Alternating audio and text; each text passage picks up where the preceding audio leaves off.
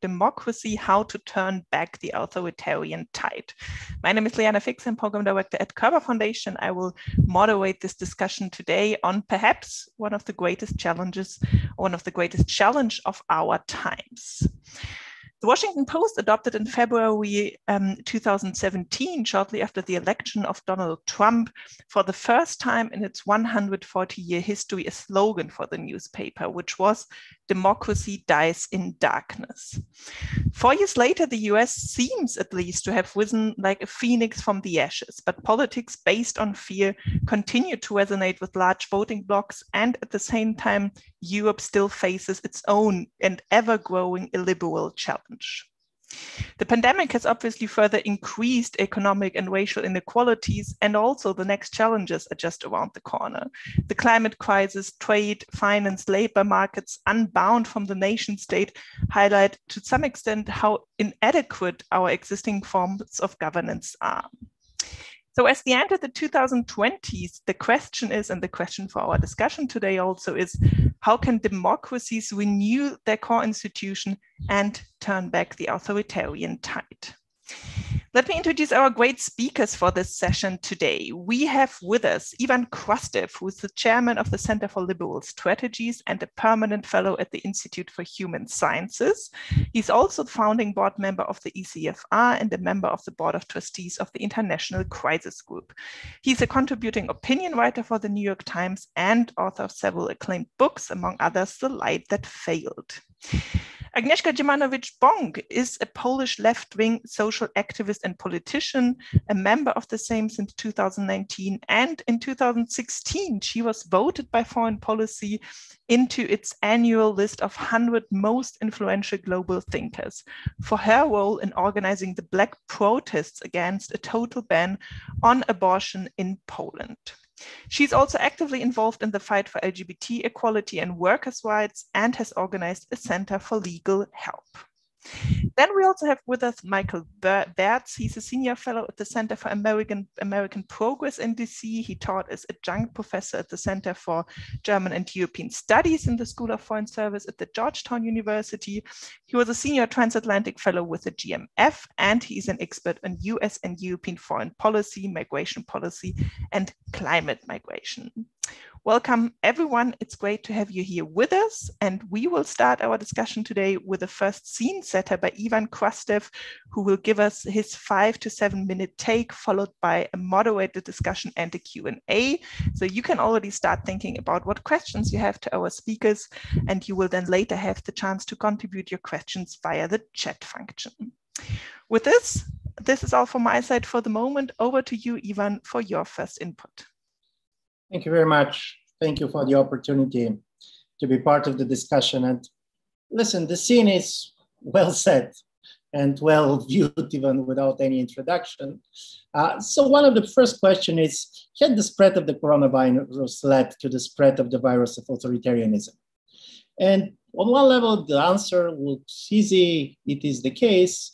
Uh, V-Dem uh, basically declared that uh, last year, 2020, the number of people, the percent of the population of the world live, living in liberal democracies is absolutely the same like it was uh, in 1990. Uh, but in a way, my argument is going to be that probably the impact of the pandemic is, for the moment at least, slightly more limited than we tend to, uh, uh, uh, to argue about it for two specific reasons. The first is that pandemic was not a disruption. It was much more accelerator of trends that have been there before. And when it comes to democracy, one of the trends that I found much more dangerous basically than simply the rise of certain authoritarian powers was that we see during this long year of plague continuing decline of the trust in public institutions in most of the countries there was an expectations and probably there was a hope that because of this collective experience that we had, because of the fact that basically people were put in a situation very different than their normal everyday life, uh, because it was about public health and not about finance or something that is much far away from the way people can experience that, we are going to end up with a more trust in institutions, more trust in experts, and also kind of a much more open public debate. At least for the moment, it's not. Uh, the data which uh, ECFR have been collecting, and I'm now talking about Europe, is that unfortunately uh, the spread of mistrust uh, uh, has not been reversed. The second thing that came as a result of the pandemic, but in my view was very much before it simply became much more visible, was that clash between the United States and China, particularly, more and more is perceived as a kind of a systemic rivalry between the democratic countries and authoritarian regimes, and not simply the clash of the two superpowers. And this is at least how it was very much framed by the new American administration. I'm saying this because uh, when uh, the pandemic started, one of the questions that was usually asked was who is going to perform better? Democracy, authoritarian regimes. And now, probably 18 uh, months later, the strange story is that first, we don't know the answer because the pandemic is not over and because the winners and losers are changing places very much these days. But secondly, it turned out that the nature of the political regime is not as a strong predicator when it comes to the response for the pandemic than you can expect. There was some democracy that did very well, at least for the moment. Some of the Asian democracies like uh, Taiwan uh, uh, or South Korea. There's some European democracy that did well. China did well, but there's some other authoritarian regimes that didn't overperform, let's put it like this. So saying all this, uh, and when we basically are trying to imagine what kind of a change we can expect as a result of the pandemic, uh, in the next three or four minutes, basically I want to make just two arguments. One is we risk not to see how much has changed for these 18 months because staying home and in a certain way living in frozen uh, there was a major change on the policy level that has happened. But secondly, we probably can be unaware of some of the obstacles for the further change when we try to imagine what can happen. On what has changed, I'm going to argue that in the last 18 months, Europe revisited all the major policy conclusions it has reached about the three previous crises that shattered the Union in the last 10 years. I mean, the terror crisis, uh, I mean the refugee crisis, and I mean the financial crisis. If you go back to the anti-terror legislation that have been discussed in Europe basically since 9-11, but most probably, uh, most uh, kind of actively after the terrorist attacks in Spain and France, you're going to see that contrary to the Americans after 9-11, Europeans were much more reluctant to basically allow the government to constrain their individual rights because of uh, the threat of terrorism. And it was very strongly to the extent that somebody like uh, the radical Italian philosopher Agamben in 2004, he said, I'm not going to fly to the United States because of kind of a rejections of the type of uh, restrictions that have been put there. But when Agamben tried to use the same argument when it comes to restrictions coming out of the pandemic, the majority of the people didn't buy it they said, listen, there is a major difference between certain type of a policies and even kind of a surveillance techniques that have been used in order to reduce and contain the pandemic and what was happening during the anti-terror legislation. And I'm saying this because as a result of these changes, one of the strange kind of reversal that we start to see in Europe very much in European politics is that some of the populist parties, both on the far left and far right, until recently have been accused of speaking the language of a strong leader and asking for much more authoritarian power, suddenly got a libertarian conversion and positions themselves as a defenders of liberty. Uh, you can see this during the Spanish debate, you can see in Germany, you can see in other places. Uh, when it comes uh, to the migration and uh, the refugee crisis, COVID 19 managed to close more borders than the refugee crisis ever did. And the truth is that basically all countries, liberal and illiberal, close almost at the same hour. Uh, but at the same time, we see a much more inclusive treatment of non-citizens in most of your member states because you realize that you cannot treat differently people who want to contain the, uh, the pandemic. So what we basically end out of the pandemic is, is a situation in which the external borders of the European Union are closed. And I do believe it's going to take a lot of time and a lot of debate to try basically to argue for opening them. And at the same time, nobody is really ready to support much the closing of the borders within the European Union. Even nationalists realize that probably staying at home is good, but you cannot do it for the whole of your life. And particularly on the financial uh, uh, front, the change was incredible. In a certain way, as a result of the pandemic, European Union did everything that it refused to do the result of uh, the financial crisis of 2010, 2012. I'm saying this because this change has happened. And this change has happened on the policy level. This change has happened uh, on the level of the public consensuses. But strangely enough, they happened in a very non controversial way, as if this kind of a revision was very much natural. Nobody was outraged, uh, nobody was unhappy. The three previous consensuses much more died out of the natural death. Uh, and now there is an expectation that because of all this, because of the pandemics, uh, societies are ready for much more radical changes. And you can hear these people when they talk about how pandemic is going to change our view on climate, uh, how it's going to change our view on economic policies. I'm going to end up with two arguments why we should be very careful to believe that people are very much in a natural kind of a radical breakthrough mode. One is nostalgia. Paradoxically, I don't know did uh, the COVID-19 infected people with authoritarianism, but now when we see, at least we hope that we're seeing uh, the recess of the pandemic, uh, you can see that uh, nostalgia for change is very much nostalgia for going back where we have been before. It is kind of demand for normality. And as a result of it, in a certain way, people believe that they got enough change, particularly on a everyday life, and certain things that just two or three years ago they're going to see as undesirable now is something that we are wishing for. So psychologically, from this point of view, strangely enough, the COVID-19 can have a very strong conservative message. Nostalgia is becoming the change we're looking for. And secondly, uh, what was, and in my view, is something to be discussed in the future, but uh, the pandemic experience was like open lessons in demography. Suddenly, every society learns what is the demographic structure of it how many people over 85 how many people at 40 because of uh, the risk of dying because of the vaccinations suddenly we realized not just theoretically but in our day experience how much we're aging and how much the young generation basically is the new minority. So strangely enough the young generation which is also going to end up with the biggest loser uh, uh, of the post-pandemic world do not have the numbers to produce the change that we're talking about. And I'm going to end up with the question, in my view, how to empower in a democratic set a generation that does not have the numbers is going to be one of the major issues that we're facing. Thank you so much.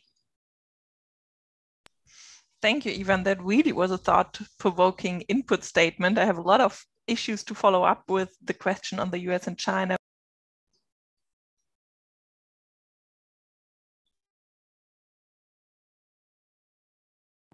Liana, I think you're muted. Liana?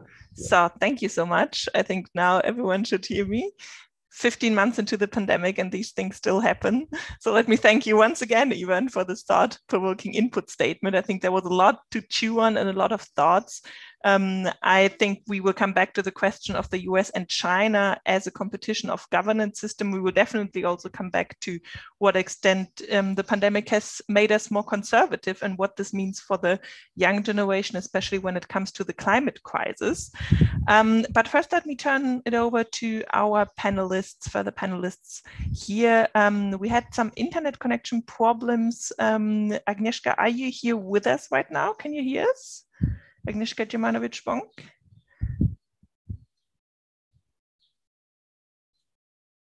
Okay, I can't hear you at the moment.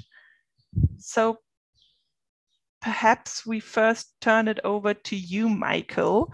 Um, um, now this might look better. Okay, we'll give it a second. We'll turn it over to you, Michael, first. Um, the United States, I just alluded to it at the beginning. It seems now with Biden, so much has been going on in terms in terms of reforms. We've seen massive rescue package, infrastructure packages, and I think to some extent this was not expected because he was considered to be a moderate president, and now suddenly he seems to become a transformational president to some extent for the United States. Is the United States back, and if yes, for how long? Thank you so much, uh, uh, Diana, for this question. And it's great to be uh, uh on this uh, panel with Agnieszka and, and Ivan. The, the short answer to your question is no, the United States is not back, at least not yet.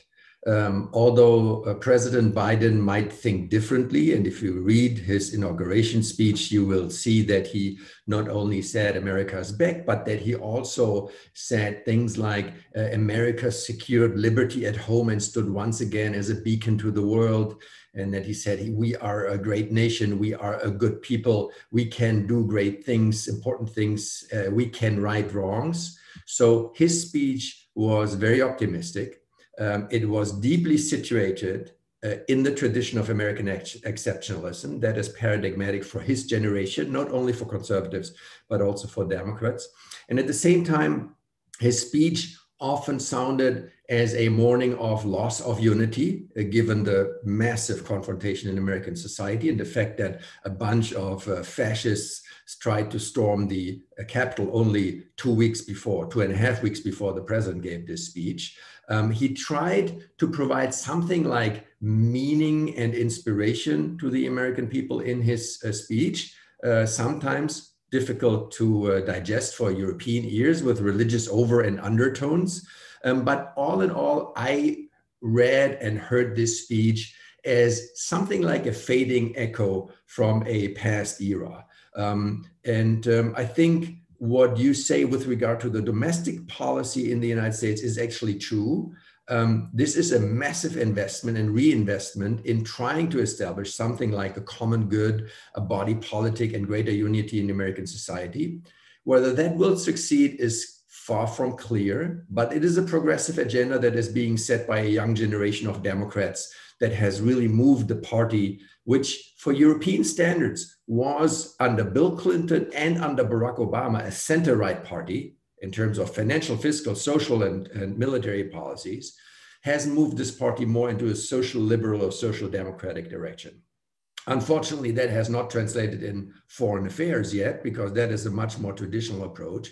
But uh, Joe Biden is certainly, uh, I think, in the best of cases, a transitional figure that will help stabilize the United States. But if he suggests that democracy is safe and secure, that is just a fallacy and a wrong assessment. Uh, we are still in the middle of a massive fight uh, for like the supremacy of democratic convictions in educated middle classes in the United States 45% of Republican voters thought that uh, storming the Capitol was okay, or at least uh, uh not a bad idea. Um, you have 40% of Republican men uh, are refusing to get vaccinated. There is still massive friction within American society. So the midterm elections in 2022 in November of next year, and even more so the uh, presidential election 2024 at earliest will indicate whether you can really count on that great project that started in 1776 to continue. If I can follow up with a concrete question, you also argued in an article, Michael, that America must relearn democracy also because there are over 70 million voters. How can these voters um, be brought back to a more democratic consensus? If you had one concrete proposal for Biden, how he can do this um, with a look to the midterm elections and then the next presidential elections. What would be your suggestion? Look, uh, what Joe Biden has done is addressing the corona crisis. And as Ivan has said, it, obviously COVID has been a learning lesson in dem- demography for many of us.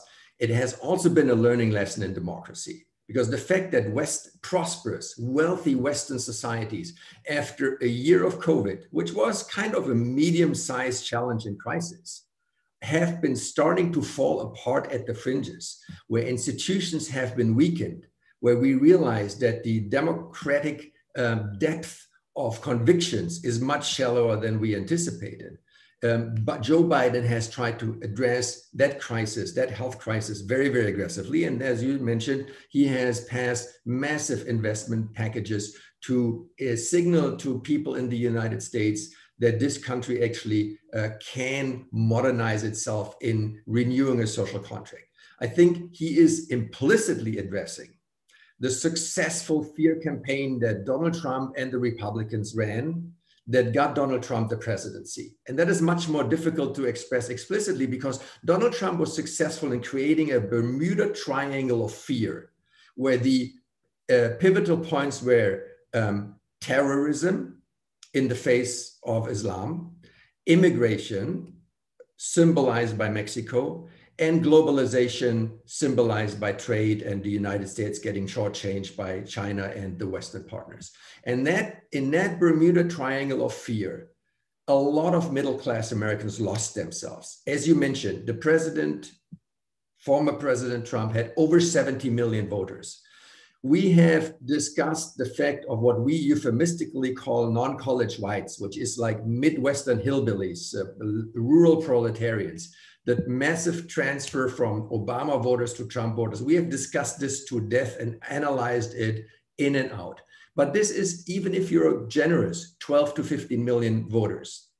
So there are 48 to 50 million middle class voters in the United States that are prosperous, that are safe, that send their kids to good schools, that live in a society where more people die on treadmills and gymnasiums that are being killed by terrorists internationally. And they still have made the decision not only to elect Donald Trump, but also to give him even more votes in the last election last November. That is really difficult to address. And I try to describe these um, prosperous conservative middle classes as virtual immigrants. These are people that have emigrated out of the moral context that has been established by the American engagement in two world wars in Europe, by the civil rights uh, movement, and they've also emigrated from our constitutional and democratic traditions.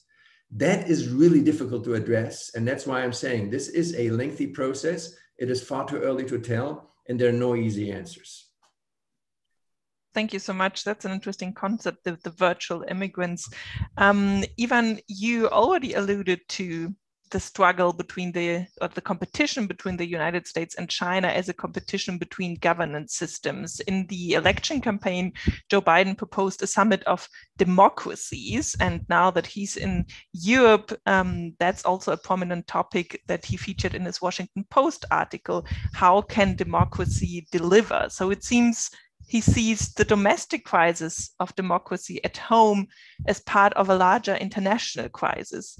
Do you think this framing of a struggle between systems of the competition between the United States and China is helpful to make progress to turn back the authoritarian tide? And I'm asking this especially because, as you all know, um, especially Berlin is kind of skeptical of this framing of China as a systemic competitor. Uh, thank you very much. Listen, uh, most of the words that we're using uh, in this new situation, like competitive, uh, competitor or strategic competitor, it's never very clear what exactly what we mean. Uh, th- but there are three things that are critical. If in 1990s there was an idea that liberal democracy and modernization are kind of a synonymous. So you can have certain type of authoritarian regimes, but the more you're going to see the spread of capitalism, the spread of capitalism is going basically to bring the spread of democracy. And we can argue when this is going to happen. We can argue how well it is going to happen in different things. Uh, but all these kind of uh, authoritarian capitalist regimes were perceived as deviations, never as an alternative. And of course, what has changed is that China came with a model which is obviously capitalist, uh, but at the same time, uh, China, at least for the moment, did not prove the central kind of a thesis of modernization that economic competition is going to bring demand for political competition. And there are certain developments, particularly in the area of technology, that makes us even more skeptical because in the world in which basically some of the technologies and artificial intelligence knows better than us what we're going to do, uh, there is no much need to ask the voters where to stand. So this is real. So from this point of view, to say that there is no alternative to the liberal democracies is not true.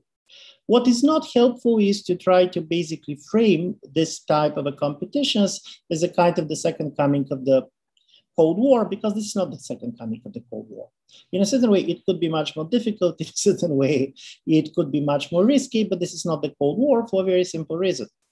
Uh, Soviet Union and liberal West during the Cold War represented the two universalist kind of ideology, both of them, by the way, rooted in the European Enlightenment, that tried to transform the world as a whole. Uh, and both of them claimed that future belongs to them.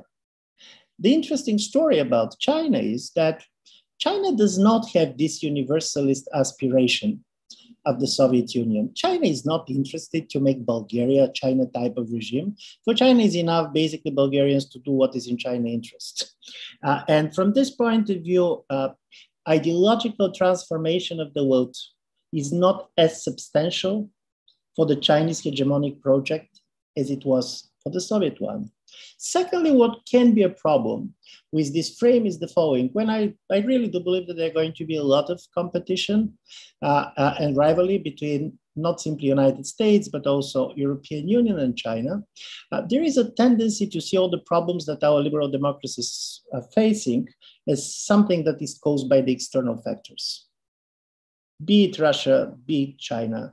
I don't believe that this is going to help us. Russians and Chinese are not particularly interested in the success of our political systems, let's put it mildly. If they have an opportunity, they're going to help us to commit a suicide. Uh, but many of the problems that we are seeing in our societies are very much the result of the economic, technological, and cultural shifts in our societies. So, in a certain way, the idea of resilience is not the same as the idea of defense it's not about simply defending our democracies. We should also reinvent and innovate them.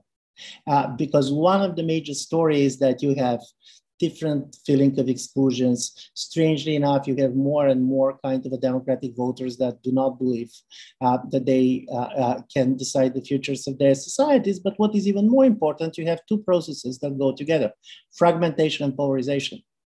And polarization, basically, and fragmentation of the public space is creating the idea and the nightmare of ungovernable democracies. What also Michael was talking about. Listen, if every elections in the United States, we are going basically to wait for the election results as if it is going to be not just a change of government, but a regime change.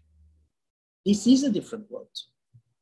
And also Europeans, we have other problems which are ours. So from this point of view, it is absolutely fair to say, listen, we are living in a world which is much more hostile. Uh, they're now a very important superpower like China, who is trying to promote their interests, to promote basically their view of the world. Uh, and we should take it seriously and we should respond to this. But I don't believe that China is going to be enough to consolidate democratic regimes. There is much more that should come as a from inside and what we're doing. Thank you so much, Ivan. I think that's an excellent opportunity to try again and bring in Agnieszka Dziemianowicz-Bąk. Agnieszka, can you hear us now even without video?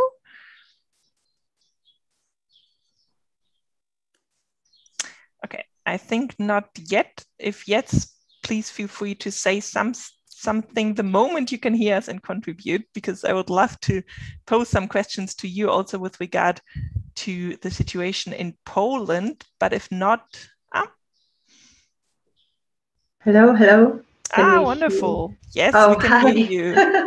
Excellent. Oh, thank you. We don't know is America back, but Poland is back. Yes, and that's the best news. well, thank you for joining us for the discussion.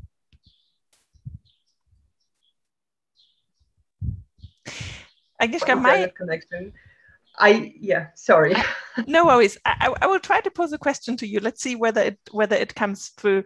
Um, there's this one book. I just have it next to me because I was um, very much impressed by it by Anne Applebaum, The Twilight of Democracy, where she describes a New Year's Eve party in 1999 in Poland, where there were a lot of liberals with a lot of hope for the future, which has changed. And and Applebaum also just published an article where she argues that Poland is becoming, to some extent, an example of a new hybrid of democracy and autocracy, of new hybrid systems. Is that also how you would describe the state of democracy in Poland, or what would be your take? Well, uh, to some extent, I would I I, I would uh, agree with uh, Anne Appelma, uh, Applebaum and the concept of this uh, this kind of uh, hybrid. And I'm sure that this is quite common knowledge by, by, by now that democracy in Poland uh, in the past few years have been going through serious and deepening crisis. Uh, at the same time, sustaining the very basic uh, indexes of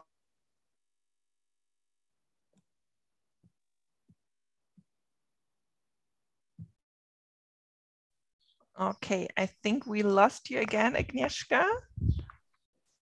We will try to get back to you at a later point. But since I we really was really intrigued by this concept of a hybrid between autocracy and democracy, let me for a second give this question back to you, Ivan. Um, is this one of the new models that, especially to some extent, also apply to Central Europe and to developments in Central Europe, if we look at Hungary and Poland?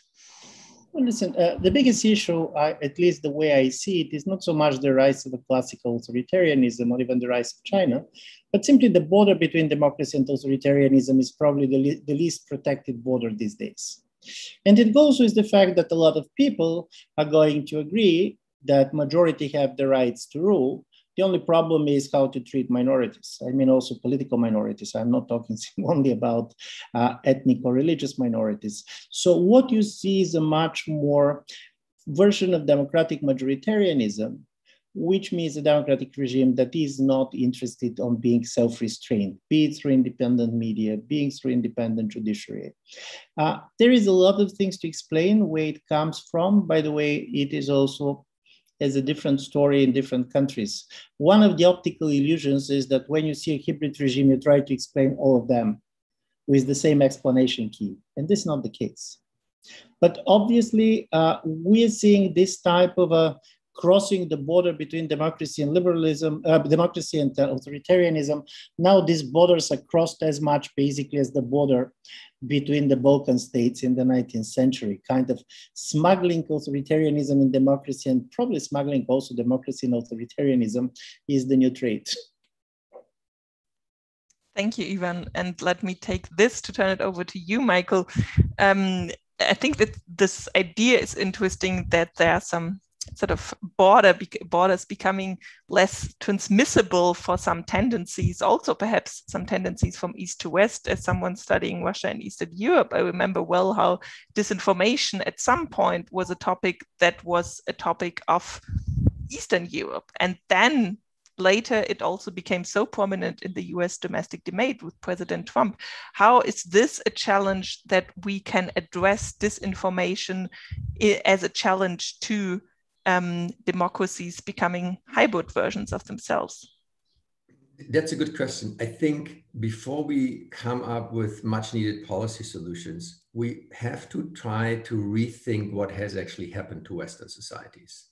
And it is obvious that people feel that with what we call simplistically globalization and the integration of, of global markets and the uh, mobility that that uh, that that people can engage in, in, in the modern age has to a certain degree privatized important functions of the sovereign state functions are being privatized and they're often also transferred to non-elective bodies. The WTO is one example. Uh, NATO might be another example. And people feel that state functions are being transferred to institutions that they uh, might not have full control over as, uh, as uh, uh, citizens and voters.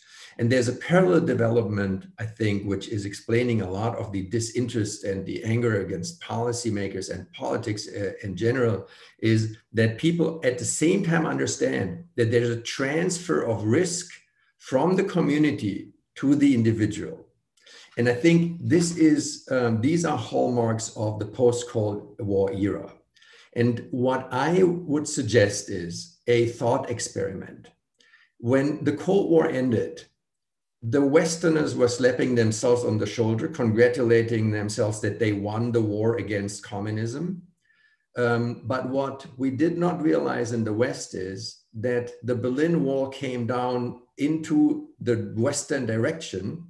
So Westerners could not lean against the Berlin Wall anymore and take it as a stabilizer to claim political, cultural, and, uh, and, uh, and uh, parliamentarian superiority. And my hypothesis is that we have underestimated the fact that the end of the Cold War and the crumbling of the Berlin Wall might have affected Western societies more than Eastern societies.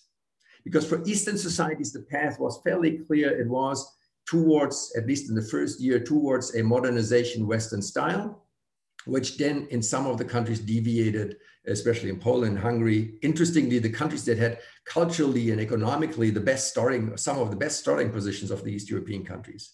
But we have always suggested that the so-called victory of the West meant that A, Western societies did not change and that they did not have to change. And I think this is a massive misperception that we are paying a high price for because now we are all surprised how much they have changed and the degree to which democratic convictions have eroded. That would be my first thought experiment. If that thought has any merit, I would say then the second argument would be that we have to think back at the cold, to the Cold War period, which is a period of 30 to 40 years of geopolitical stability, because the Cold War got only hot in the periphery, in Bolivia and Congo and Vietnam and other places in Nicaragua, but never in the center. So it was an era of incredible stability and almost continuous economic growth over 40 years. Never happened before in, in world history. So my, may we have to ask ourselves the uncomfortable question, if liberal democracy as we know and like it has been tied to this specific period of economic growth and geopolitical stability that has irreversibly ended in 1989 and whose and the end of that period was codified in, uh, during 9-11 and 2001 with the attacks uh, on New York and Washington, D.C. If that is true, I think we have a different conversation that really goes back not to how can we fix things, but what is actually the massive task ahead of us to reconstitute Western democracies in an entirely new environment. And let me just, and I apologize for going on a little too long, uh, just uh, uh footnote this with one um, thought on uh, Ivan's um, uh, comments on China. I completely agree with you because China, to a, to a, to a degree, is a systemic competitor, but it, the question is how you frame it. Um, in, a, in a realpolitik uh, perspective from Washington, what Europeans should not underestimate is this is not just trade questions for us here in, in the United States vis-a-vis China. There are two massive developments that Europeans need to recognize. Number one is our Asian allies are standing in line asking for security and political guarantees so they can live their lives. Australia and New Zealand, New, New Zealand first and foremost, but also the traditional candidates like Taiwan, South Korea, and Japan, and even the Philippines and even Vietnam. So there's massive pressure on the political system in the United States to have a position on China's militaristic and aggressive uh, regional policies. And then the other point is that we are seeing what I would describe as the second westernization of the United States because of immigration and demographic changes. The mathematical center of population in the United States moves from east to west five meters every day which means that you have more people, more economic power, California being the fifth largest economy in the world by on its own, the integration of the United States and Mexico, the relevance of the Western hemisphere. These are all forces that create magnetic fields that drag the United States into the Pacific arena. And this will be for domestic and for foreign and security policy reasons, very difficult to resist. I again agree with Ivan that the question is how you frame things but the notion that Europeans will be able to manage a new era of a transatlantic alliance is only viable if Europeans understand that for the first time in the history of the transatlantic alliance and transatlantic relationships, those relationships have to verify and validate themselves outside the Atlantic. And I think that's an interesting uh, dimension that we need to more for, fully uh, understand and debate.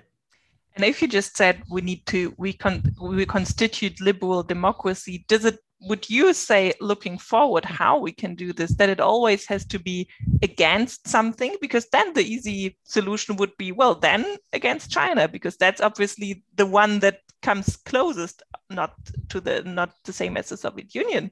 And also if we think about this um, as reconstituting liberal democracy um, to what extent does the climate dimension would have to be rethought in this as especially if we look at look at the younger generation even just said that they are the ones who who are left with the problems how do we have to think this dimension in yeah i mean look i think that obviously the competition with china is might be helpful in a, in a pretty banal political way. If you tell people well uh, take your pick do you want to live like a Uyghur in, in china or, or like uh, somebody in, in a suburb in hamburg uh, make up your mind that might be helpful to at least initiate a conversation, but it's obviously not sufficient. Um, Ivan has said that um, in Western societies, there's a tendency because they think of themselves as being perfect societies to blame outsiders from Russia to China and Muslims and immigrants and who else for their ills. And um, that requires to rethink how you want to um, construct Western societies in the 21st century in the context of a massive transformation of the labor sphere and of the way economic wealth is being produced. And in the case of Europe, most of all, in the uh, wake of massive demographic decline. I mean, if you want to put it bluntly, Europeans by the end of the century will have two options. They will either uh, accept a substantial skilled and non-skilled immigration from Africa or they will die out. It's that simple. But obviously, in terms of policy, to have this discussion, it is very difficult, if not impossible, because the moment you try to suggest progressive solutions to these issues, you might get kicked out of government.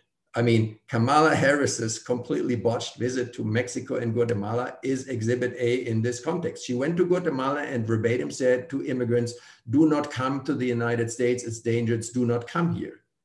And then she kind of refused to visit the border where we have created a situation that in terms of human rights, health, and the uh, sanctity of, uh, of, of the health uh, and the well-being of children is a complete disgrace to the traditions of the United States.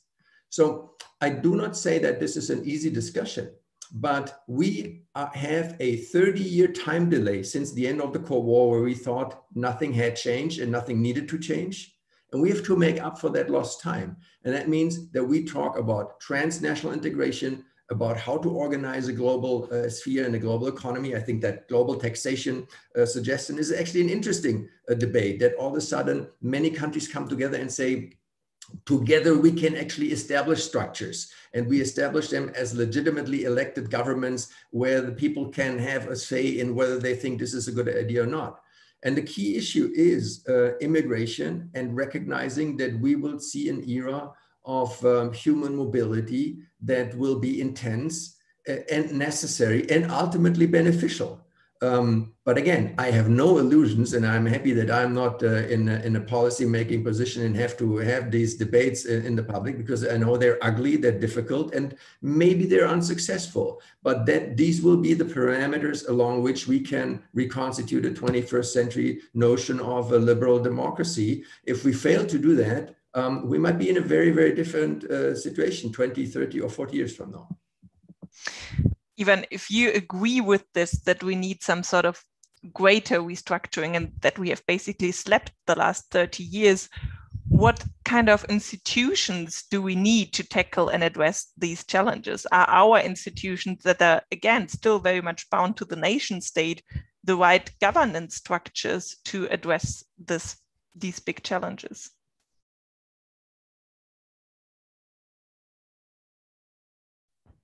Uh, I think we still can't hear you, even. Yeah, perfect. Yeah. I first want to agree with one of the central arguments that Michael did, namely that when the end of the Cold War came, the expectations in the West was that the East is going to change and the West is going to remain the same. And by the way, this is very important because if you see these 30 years, this was the period of migration of the East to the West. Some migrated individually, mostly with their countries, but the idea was that we're keeping the Western institutions and we expect others to integrate in them. And we saw how difficult it is when we talk about societies which are culturally much more closer and historically have much more shared experience uh, with West Europeans than what is going to happen globally in the next 20 or 30 years. So from this point of view, the story is that paradoxically, you cannot integrate any type of a big migration flow without changing yourself. But this is easy to be said than to be done. And I'm going to tell you why. We talk now about democracy. The experience that we have with democracy is the experience of democracy in the nation states. And the nation states was very much kind of uh, conditioned on the fact that you have a permanent majorities and permanent minorities. This is where basically the Westphalian tradition, I'm talking Europe, comes from. And then you have the democratization of the nation states, and you're living with the idea of two majorities. This is like the two bodies of the king. Uh, one majority is changing any four years, but there is still the idea that you have this majority, which is cultural, which is demographic, which basically keep the nation state. What we are seeing now is, for the first time, electoral majorities coming out of the elections, and the United States is the greatest example of this, is challenging the idea of the prevalence of the demographic and ethnic and cultural majorities that were uh, the base of these nation states. And listen, this is dramatic. When Trump said that the elections were rigged, his major argument was that wrong people were allowed to vote. When basically he said this is the last elections that we can win, the idea was that all these migrants, if they're going to get their voting rights, are going dramatically to change the body politics of the United States. But this is going to start happening also in Europe. Nevertheless, that still this is a very different project. So then you should decide in what exactly you're integrating. And believe me, it's not simply about institutions. This is about uh, two very different ideas of what is about the national identities. Can you have a democracy without national identities? There is a one uh, famous restaurant in Vienna which used to be an Italian restaurant with Italian owner, Italian uh, cook, Italian basically waiters some 50 years ago. And now the owner is Egyptian. All of the waiters have never been in Italy. They don't speak Italian, but the menu is in Italian.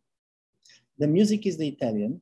Nobody speaks Italian of the people in the restaurant. Nobody have been uh, in Italy uh, from the staff. The question is, is this an Italian restaurant or is this a restaurant with an Italian food? Uh, and there you're going to see two very different kind of uh, answers to these questions. People are going to say it's about the menu. And somebody said, no, a restaurant in which Italians do not feel at home is not an Italian restaurant. I'm saying this because these kind of questions cannot be solved simply easily institutionally. It's not simply about improving the governance. By the way, this is not going to be done through transparency and this type of mantras that people talk about. This is basically a new social contract. And of course, in this new social contract, particularly in the United States, this is why the generational divide is so strong.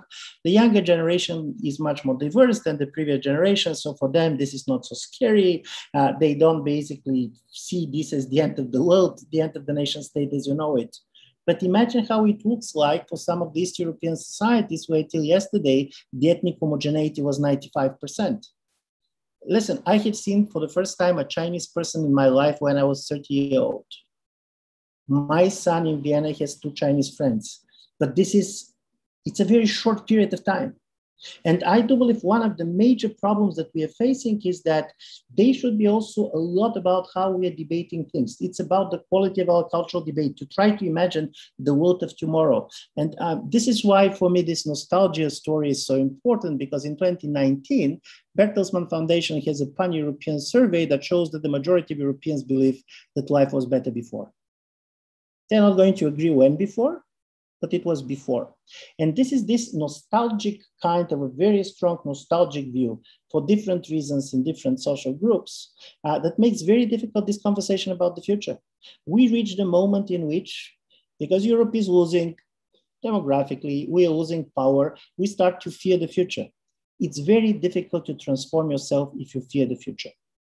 This is the biggest issue. And I do believe you see this with the Republican Party in the United States.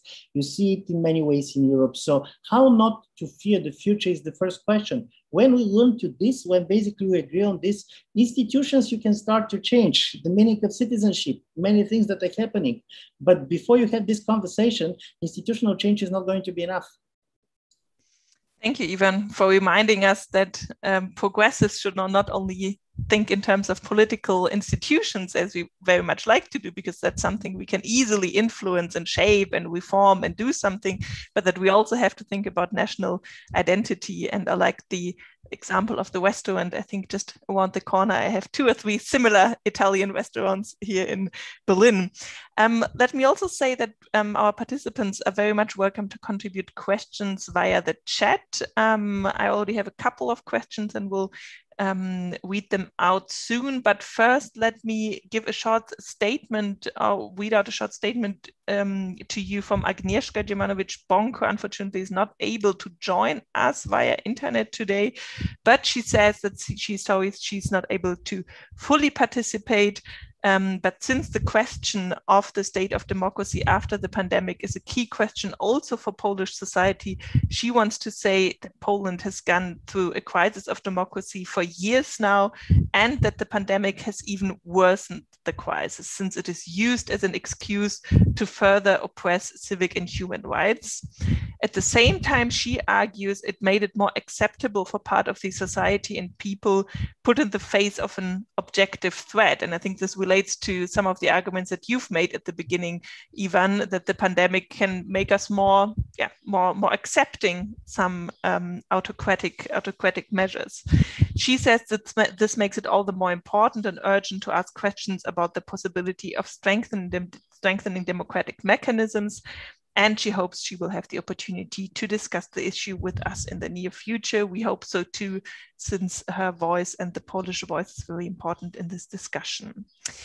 Let me give a first question to you, Michael, which has turned up in the chat and relates to your idea of virtual immigrants. Um, Mark Castle would like to know and ask you whether this is the same group that strongly opposed civil rights changes in the 1960s and integration in the 1950s.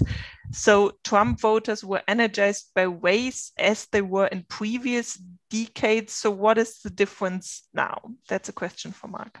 Yeah, thank you, Mark, for this question. And just one um, minor correction, and that might have been me. I, I call them virtual emigrants with an E, not with an I. So these are people that are emigrating out of the constitutional and democratic traditions, right? I mean, they still live in the United States and they live in their, their uh, uh, suburbs in, in Cleveland and, and Oklahoma and Tennessee, but they have emigrated from that um, moral inventory that has uh, codified the political arena in the United States so much. And yes, um, these are um, similar groups of people that were against racial integration in the 50s and 60s. But of course, prejudice and authoritarian identifications themselves have a history they are not artifacts that stay the same uh, over the course of generations. So I think the, the way people uh, deal with the uh, diversity in the United States right now is slightly different than in the 50s and 60s.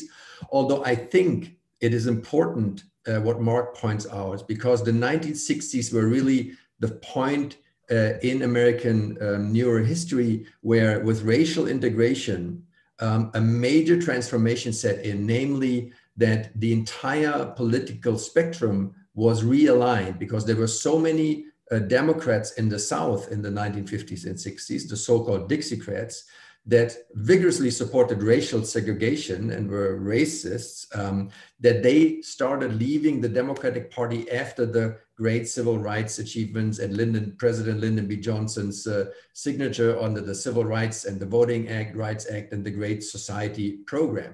And that uh, led over the following 20 years to the fact that a lot of people with authoritarian orientations um, went uh, to move from the Democratic to the Republican Party. Today, to distinguish voters, authoritarian identifications is the most precise distinguishing factors, roughly three quarters of Republican voters have authoritarian orientations, roughly a quarter of Democratic voters have that. So you have a concentration of authoritarianism in that party that goes back to that time period that Mark um, points out. And obviously, that's very different than a, in a parliamentarian system, where in Germany you have probably authoritarian identifications among Linkspartei voters, the fringes of the CDU, some of the national liberals in the FDP, some dogmatic working class parts of SPD, and obviously the AFD. So you have a greater distribution of authoritarianism, if you will.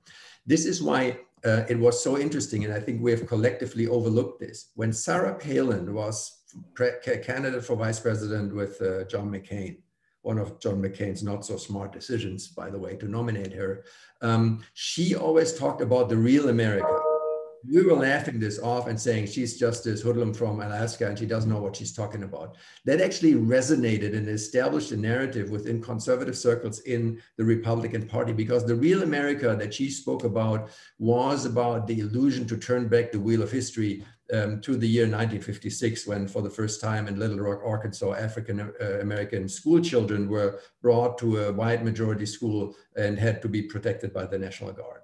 And the uh, point is that people started to look, as Ivan said, back into a history that never existed in the way they imagine it as a black and white photography. Because this is where you uh, can gather greater meaning and greater orientation in a society that becomes increasingly complex today by suggesting that 30, 40, 50 years ago, things were just a lot easier, more clearly cut, and much better organized. That obviously itself is part of an ideological construct, but I think this is one of the reasons why Ivan uh, is able to quote these amazing opinion polls that people actually suggest that it was better to live in uh, uh in Poland in the 1970s and in, in Hungary and Eastern Germany uh, than today. So I think uh, this is an interesting um, uh, construct, but in, again, in the 50s and 60s, white people felt and were in the majority and were aggressively segregating African Americans. Today, uh, it is more a dynamic of an emigration out of American traditions and becoming un-American uh, in a certain way, which is uh, not as open and as aggressive because people know that in the mid 2040s we will not have a white majority anymore, and American society is so rapidly changing that people chose different ways of expressing their prejudice and authoritarian orientations than they did 50 years ago. Thank you, Michael. Let's perhaps turn it um, back to Europe for one moment. I want to come back to what you said at the beginning, Ivan, about the pandemic being not so much a disruptor, but rather an accelerator and perhaps having a more limited impact also when it comes to populism than we expected. And that is true to some extent, especially in Germany, for example, populist parties are not have not benefited from the pandemic.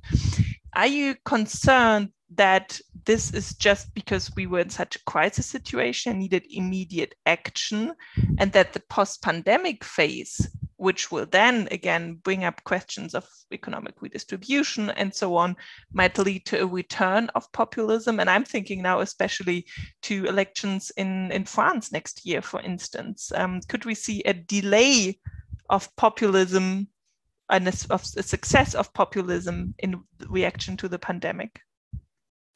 For sure, uh, uh, uh, for sure, you see. But uh, when we're talking about populism, we took as if certain phenomena which is going to disappear. Listen, we are seeing a major transformation of our political regimes, and this populist party is a part of it.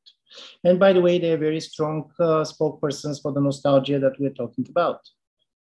Give me back France as it used to be. So in a certain way, normally people are dreaming about the future, but now you have societies for very understandable reason, by the way, trying to dream about the past. Because don't forget, Europe is going to lose power. Nevertheless, what we're going to do, demography is an important thing. We are going to be six or seven percent, or even less of the population in 2050. There are going to be major redistribution. Uh, the idea that here we're going to be vaccinated at 100 percent and in the rest of the world five percent, it's not going to be the way it's going to look in 20 or 30 years. And losing power is never particularly happy process. The problem is, and this is the interesting story, to try to understand that, first of all, having so much power was unnatural. And secondly, that in a certain way, sharing power is the way to basically avoid much more cataclysmic and much more negative developments. I do believe this is why this is a difficult uh, conversation. Populist parties lost in this first one and a half year, because at least I could be wrong, but I do believe psychologically populism is much more rooted in anxiety than in fear. Anxiety is a fear of everything. You fear that the world is going wrong. You fear that nobody is taking uh, your opinion seriously. And then came the pandemic, and it was a real fear fear for your life, fear for the life of the people that you love. Uh, and then fear is a disciplining kind of emotion. Why anxiety, when you're anxious, you try to find somebody who is going to articulate how you feel. In the moment of real fear, you're looking for somebody to help you to solve the problem. So as a result of it, governments benefited incredibly in the beginning. Nevertheless, by the way, who was in government? Because people look at the government and said, help us, contain it, you're right. And it very much also depends on how Europe is going to look at the end of September. Uh, because, listen, if we're going to have a new lockdowns after September, this politically is going to be extremely dramatic, extremely dramatic. Secondly, a year ago, Europe was looking around. We were not doing well, but others are not doing better, let's put it mildly. The United States was just in a free fall. United Kingdom doing badly. So if on the 1st of October, suddenly Americans are growing economically and basically have normalized their life, if the United Kingdom is doing the same and Europe is locked uh, in a type of political and economic paralysis, this is going to have a high legitimacy cost. Because one of the things that happened as a result of the pandemic is that if there is a dictatorship in Europe today, this is the dictatorship of comparisons. Because there was one issue that is totally dominating the public debate, people are comparing all the time what is happening in their countries and what is happening in the neighboring countries. How many people infected, how many people vaccinated, what is happening on the economy. If Europe is going to be perceived as a loser, at the end of this process, of course, this is going to create a major crisis also in the confidence of the European project as a whole.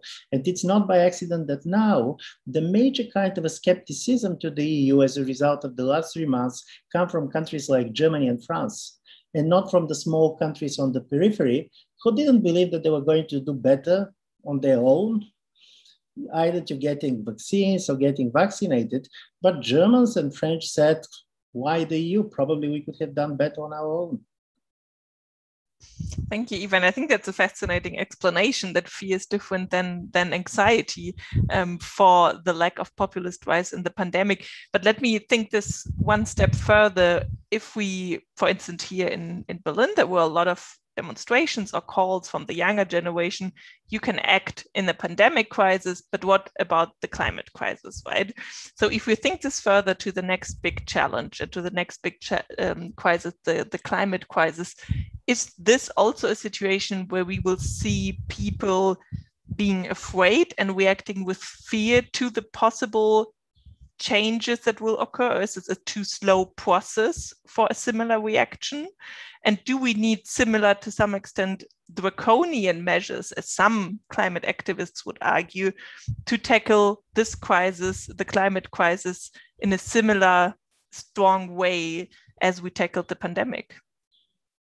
First, nevertheless, what we're going to do on our own, I mean Europeans particularly, but even Europeans and Americans, we're not going to be able to tackle the climate crisis. And this is the major story. So in a certain way, you can decide to vaccinate all of your population, but if the rest of the world is not vaccinated, you can all go back to normalcy. Uh, and unfortunately, this crisis shows a very low level of international cooperation. Uh, and this is shocking in a certain way because this was a crisis which should give, give incentives to the government to work together. It is not a war, it's not even a migration. Uh, but of course, the climate was very important for this younger generation, exactly because, particularly in Europe, this is a generation which is in a political minority. For them to influence politics is really to try to influence the agenda, to try to say, you should listen to us because we speak not only on behalf of ourselves, but those who are not born yet. So strangely enough, the young people basically enlarged their political constituencies getting all those who are not born yet. Uh, it's funny enough in American, of course, Republican uh, Democratic debate, Republicans used to speak on behalf of the unborn because of the abortion. now it is uh, very much. But the problem with the climate is that the expectations of the people, this is about the timing. And I'm always making one distinction. For example, the Green Party uh, in Germany, and all of you know much more than it, came also very much connected to the fear of the nuclear war. But if you compare these two, you're going to see two important differences when it comes to the policy perception. First, if there's going to be a nuclear war, we all are going to die at the same time. Listen, even if the climate change uh, is not going to be contained, if basically global warming continues, some places are going basically to get it hard much earlier than others. So are you trying to save the world or are you trying to save your part of the world? And I do believe that people like Trump, when they said, okay, climate change is not a problem, they said, we're not ready to save everybody. We should try to think how to save on our, ourselves only. And secondly, during the anti nuclear movement, the basic problem is how not to allow the governments to do something wrong. Here, you should push them to do something right.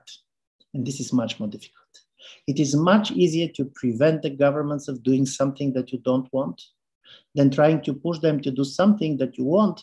But even within the climate activists, you're not going to have an agreement exactly what and exactly when. And from this point of view, it's going to be the mobilization impact of climate is incredible. If they're not going to be a responsiveness on the climate issues, the young generation will go on the they jump on the on the trees. There was this famous novel by Italo Calvino about a young guy who was so much unhappy with their family that he spent the rest of his life just on the trees, never going to the earth. This is going to be basic. This is going to be a generation that is going to be lost. They're going to refuse to be part of it anymore. But how to have an effective policy, how to get China, with whom we're going to compete, to cooperate on certain issues. Not easy to be said than to be done because geopolitics is not going to disappear. So when the Chinese president or Russian president, they're talking about the global warming and so on, they see the risk. Listen, this is basically well-briefed people, but on the other side, you try to see what you can gain geopolitically out of this crisis too. And this is true for everybody.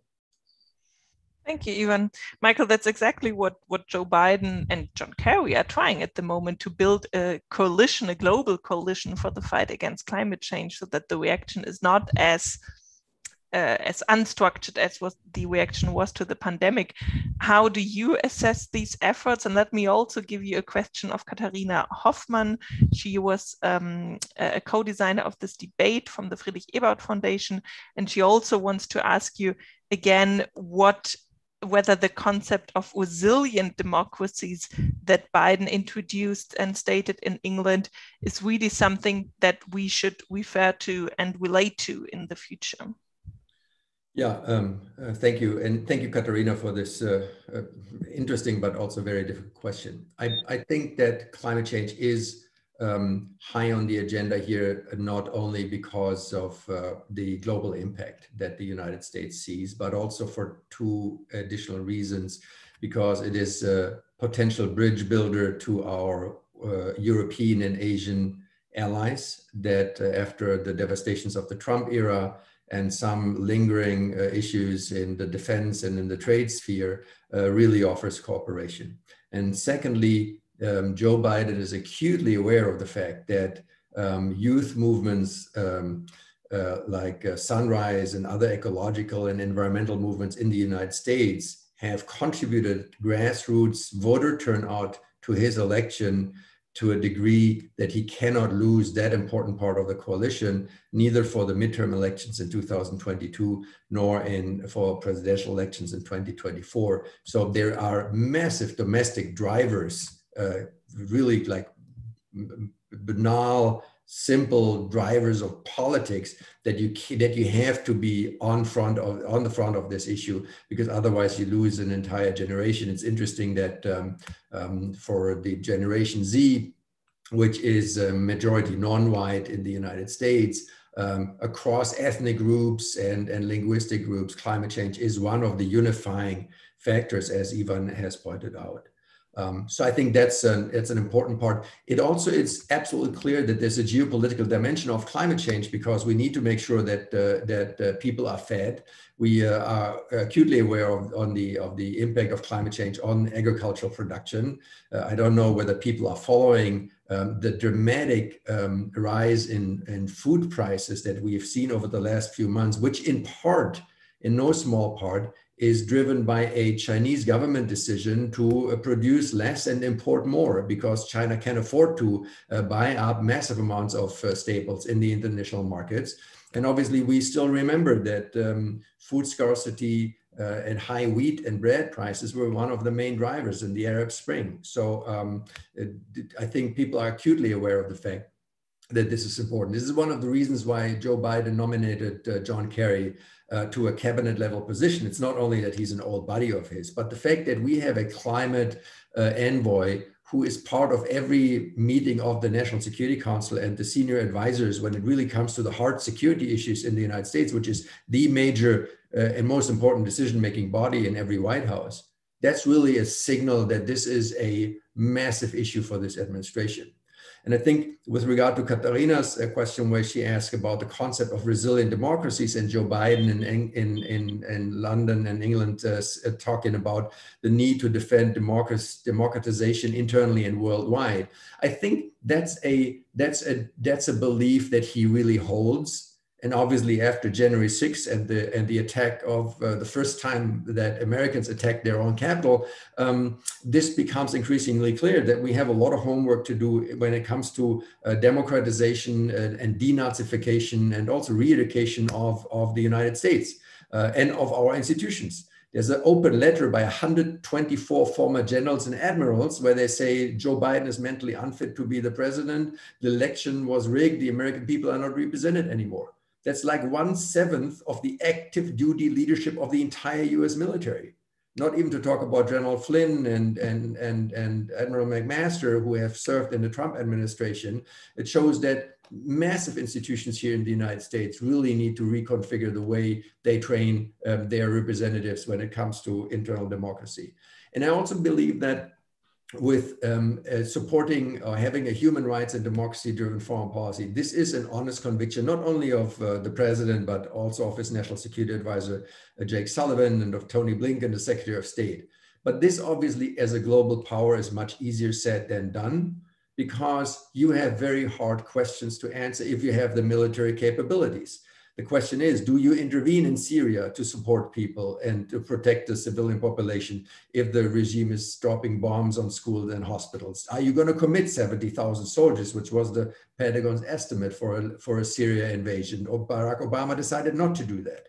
Um, was a similar question whether um, you would send troops into Libya. There was a discussion also in, uh, in Italy and Germany and France, uh, and the decision was not to do that. Um, the Europeans, I would suggest, had would have had an opportunity after Donald Trump supported uh, stopped our support or diminished our support for the uh, uh, northern Iraqi Kurds, which is kind of the only semi democratic parliamentarian, however you want to know it, uh, um, political entity in the entire region outside Israel.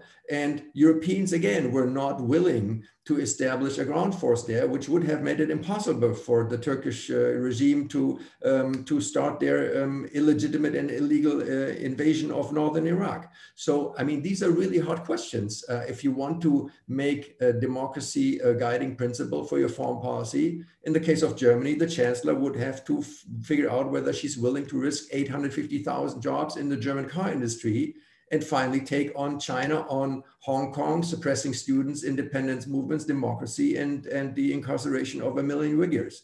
So yeah. this is com complicated, but I think we need to push this conversation forward. And the first step would be for Western societies, especially for the United States as a global power, to admit publicly that there's a double standard and that sometimes you need double standards as a global power. If you need your naval bases in Bahrain, you might not like the regime a lot, but geostrategically that's important. But then you can figure out how you compensate for that in other policy arenas. And there are opportunities, and it's our task to push these discussions. Thank you so much, Michael.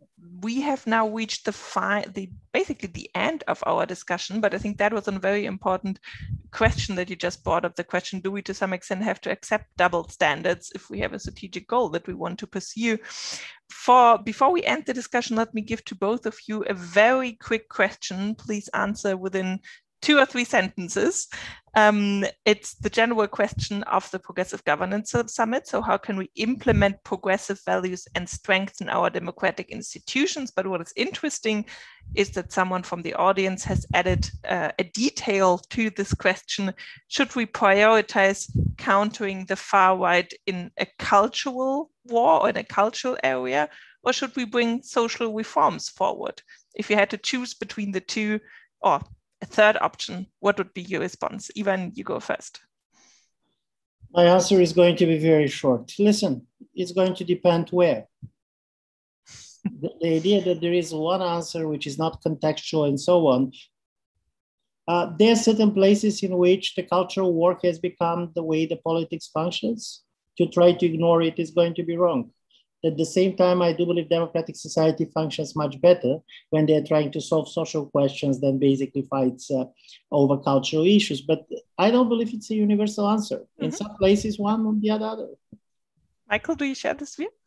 Yes, and I think with regard to the United States, I would say we have to rebuild the social con- contract. This is something uh, President Biden and his administration is vigorously um, investing in and, and also putting up the money um, that we need to do this. And at the same time, we need to uh, reconfigure our relationship uh, with the region and especially recognize that we have a integration of North America between Canada, the United States, and Mexico that is uh, much more advanced than the Montanunion in Europe in the 1950s and early 60s.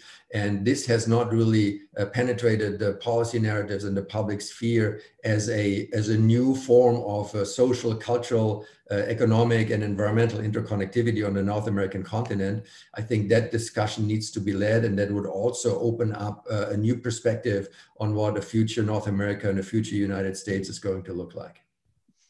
Thank you for these great takeaways, and thank you also for the discussion. Very sorry that we could not have um, Agnieszka with us all the time, but I hope she had the chance to follow at least part of the discussions. Thank you to you. Thank you to our participants who added their questions. I think it was really an insightful and fascinating discussion. I uh, at least have a couple and a lot of points that I will take with me and think about for our participants, if you like, please fill out the feedback form that was just posted by the team in the chat. And if you want to continue the discussion, there's also a community space where you can continue to debate the ideas of this session. With this, thank you so much, Ivan. Thank you, Michael. It was a great discussion. I wish you a good afternoon, evening, morning, and all the best. Thank you so much.